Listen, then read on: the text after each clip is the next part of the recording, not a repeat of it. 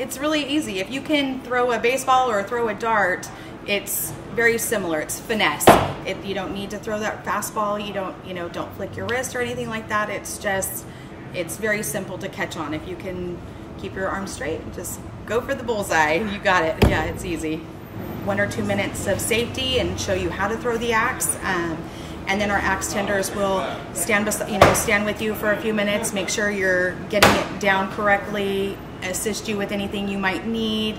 If, um, if you have any questions, we're all there to help. You can come in and have a, have a couple drinks and throw an axe and just enjoy company and be with your friends and in a very, it's a very safe environment even though people are kind of nervous about, you know, throwing an axe and having a drink, it's very safe to do